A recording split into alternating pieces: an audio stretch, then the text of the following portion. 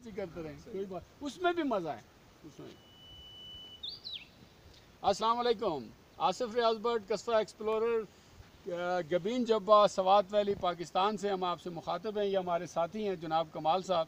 السلام علیکم کہاں سے ہیں کمال صاحب؟ مردان۔ یہ مردان کے مرد ہیں جی کمال صاحب اور انہوں نے واقعی آج بڑی ہمت کا اور مردانگی کا ثبوت دیا۔ یہ الجزیرہ ہوٹل سے ڈھائی گھنٹے میں لوور اپر اور اپر گبین جبا انہوں نے کور کیا۔ یہ ساڑھے تین بجے ہیں یہ واپس جا رہے ہیں۔ صبح نو بجے وہاں سے چلے تھے۔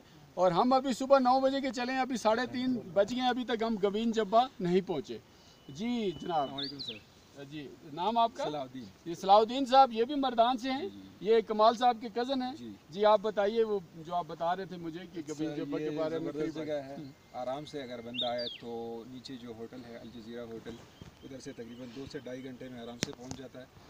یہ لوور ہے گبین جبا اوپر جب آپ جائیں گے تقریباً مزید ڈیڑھ گھنٹہ۔ ڈیڑھ گھنٹہ لگ جاتا ہے۔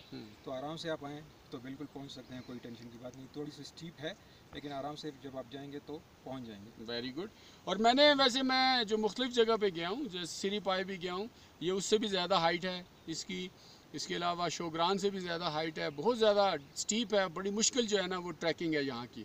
السلام علیکم۔ آپ کا نام؟ یہ فہیم صاحب ہے جی یہ ملیشیا سے آئے ہیں ہیں پاکستانی۔ اور معلم جبا اس کی گبین جبا کی جو ہے نا وہ تعریف سن کر۔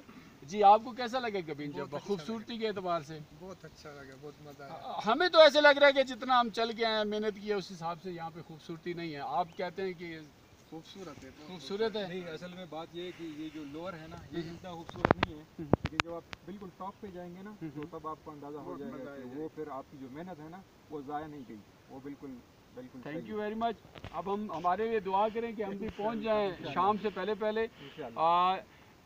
آپ ہمارے ساتھ مل کے نعرہ بھی لگائیں گے۔ آصف ریاض برڈ قصبہ ایکسپلورر گبین جبا سوات ویلی پاکستان پاکستان؟